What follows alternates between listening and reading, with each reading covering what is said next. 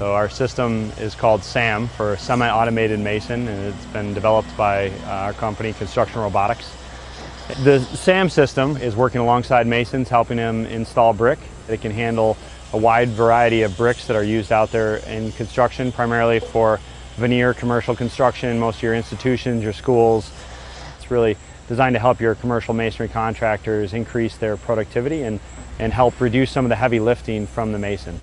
The mason still works alongside SAMs. They're still responsible for setting SAM up. They're still responsible for striking the joints and ensuring the best wall quality and using some of the knowledge and the skills that they have, but they don't have to have the physical demand on their body that they might uh, previously.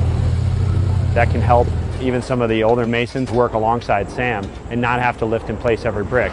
And we're successful here and we can bring robotics and automation in the industry if we can help construction as a whole be more successful that's really going to ultimately help the U.S. economy and even help jobs in the U.S.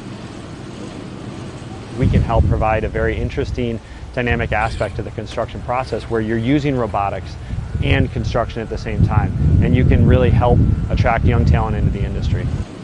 NSF's been an instrumental part of our, our work. It's really been what enabled us to, to go after and develop a high-risk technology like this bringing robotics and automation into the construction industry is a challenge on multiple fronts. One from both the technology side, but also on the, the business and implementation side. And I think the ability for NSF to, to come in and support that has been really what enabled us to be able to pursue this technology and, and uh, enter this industry.